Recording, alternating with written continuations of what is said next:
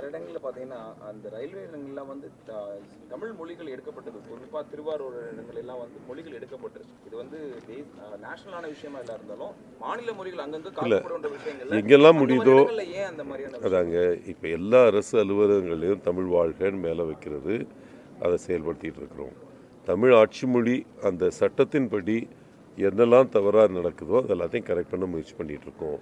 இதுக்கு உண்டான பெனல்ட்டி அதிகப்படுத்துறதுக்கு ஒரு பெருமுயற்சி எடுத்துட்டு இருக்கோம். இதெல்லாம் வந்து வணிகர்கள் குறிப்பாக தமிழில் வந்து ஒரு சைஸில் இருக்கணும்னா அதை பண்ணாமல் ரொம்ப சின்னதாக போடுறதோ இல்லை வந்து ஆங்கிலம் ஹிந்தியில் மட்டும் போடுறதோ இல்லை சட்டப்படி குற்றம் இந்த குற்றம் செய்கிற இடங்களுக்கு எங்களால் இந்த சிறிய துறையில் எந்த அளவு இம்ப்ளிமெண்டேஷன் பண்ண முடியும் அந்த அளவு பண்ணிட்டு இருக்கோம். ரயில்வேல குறிப்பா குறிப்பா விஷயங்கள் என்ன கேட்டீங்கன்னா மத்திய அரசு சார்ந்த விஷயங்கள் தான். ஏற்கனவே மொழி பிரச்சனை இருந்துகிட்டு இருக்கு. மத்திய அரசுக்குள்ள ஹிந்தி தெரி போன்ற விஷயங்கள் இருக்கும் பொழுது தமிழகத்துக்குள்ள ஏன் வந்து தமிழ் மொழி கட்டாயமா ரயில்வேல இருக்கின்ற விஷயம் வருமா? அதுல மாற்றம் எதுவும் வரும்? இல்லைங்க கண்டிப்பாக அதுக்கு முயற்சி எடுத்துட்டு இருக்கோம். இருக்கணுன்றது நம்ம ஆட்சி மொழி சட்டம். அந்த சட்டம் வந்து மத்திய அரசாங்கத்துடைய தமிழ்நாட்டில் இருக்க நிறுவனங்களையும் கட்டுப்படுத்தும். எந்த இடங்களும் அது மாதிரி இல்லையோ அதெல்லாம் வந்து சரி பண்ணுறதுக்கு எங்கள் துறை வந்து முயற்சி எடுக்கும்.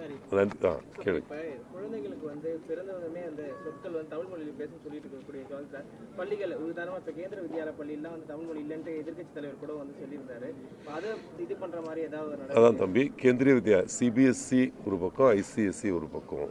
சிபிஎஸ்சியில் அவங்களோட அண்டர்ஸ்டாண்டிங் போட்டு ஆறு ஆண்டுகளுக்குள்ள அங்கே வந்து தமிழ் இருக்கணும் ஒரு பாடமான்றதை கட்டாயமாக்கியிருக்காங்க. ஆனால் அதில் சில நிறுவனங்கள் இப்போ வந்து தமிழ் ஆசிரியர்கள் இல்லை. தமிழ் இருக்கு? ஆனால் தமிழ் ஆசிரியர்கள் இல்லை. அதனால் தமிழ் இல்லை. இந்த மாதிரி நிலை வந்து சரியில்லை. நம்ம கல்வித்துறை இது சார்ந்து ஆய்வு ஆய்வு செஞ்சு இந்த முயற்சிகளை எடுத்துக்கிட்டு இருக்கு. நாற்பத்தாறு பள்ளிகளில் ஆசிரியர்கள் இல்லை அப்படின்னு சொல்கிறது வெகு விரைவில் அது எல்லாமே நிரப்பப்படுவதற்கு நாங்கள் ஏற்பாடு செஞ்சிட்ருக்கோம் நன்றி. ரெடி ஆயிடுச்சுங்க. அதில் வந்து சிஎம்டி அப்ரூவலில் கொஞ்சம் டிலே இருந்தது. பாரத பிரதமர் மீண்டும் இருபத்தெட்டாம் தேதி வர்றதா சொல்லியிருக்கிறாங்க. அதற்குள் அவர் வந்து காணொலி மூலமாக கோவையிலிருந்து திறந்து வைக்கிறதுக்கு ஏற்பாடு செஞ்சிட்ருக்கோம். மாண்பு முதல்வர் அவருடைய பெருமுயற்சியினால் தான் சிபிடபிள்யூட எக்ஸிக்யூஷன் வேகப்படுத்தப்பட்டு இப்போ முப்பத்தி ஐந்து கோடிக்கு அந்த கட்டணம் எழுந்து ரெடியாக இருக்குது சிஎம்டி அப்ரூவல் வந்து இன்னும் ஒரு ஓரிரு தினங்களில் வந்துரும்னு நம்புகிறோம் எலக்ட்ரிசிட்டி கனெக்ஷன் கொடுத்துட்டு நாங்கள் வந்து அதை திறக்கிறதுக்கு மாண்புமிகு பாரத பிரதமர் மூலமாக அதை திறக்கிறதுக்கு ஏற்பாடு செஞ்சிட்ருக்கோம். இங்கே வர்றப்ப திறக்க முயற்சி பண்ணோம். இந்த அப்ரூவல்ஸ் டிலேனால கொஞ்சம் லேட்டாக இருக்குது அது வெகு விரைவில் சீர்படுத்தப்பட்டு அடுத்த வாரம் திறக்கிறதுக்கு வாய்ப்பு இருக்குன்னு நினைக்கிறேன். ஏன்னா கட்டணம் ரெடியாகி ஒரு மாதம் ஆயிடுச்சு. கனெக்ஷன் இவி கனெக்ஷனும் சிஎம்டி அப்ரூவல் வரணும். அது வந்த உடனே பண்ணிடுவோம். ஆதிச்சநல்லூர் ஆய்வறிக்கை எப்போ சார் வெளிவரும் மத்திய அரசோட இது ஆதிச்சநல்லூர் ஆய்விருக்கையோட சாராம்சத்தை எங்களுக்கு கொடுத்துருக்குறாங்க. நாங்கள் அதை அவங்க ஃபுல் ரிப்போர்ட் அவங்களே ரிலீஸ் பண்ணணும்னு தான் நாங்கள் கேட்குறோம். ஏன்னா இப்போ நாங்கள் செஞ்ச ஆய்வு இப்போ முடிஞ்சு மூணு மாதம் ஆயிடுச்சு. கொரோனா பீரியட்லேயும் அந்த இது நடந்தது.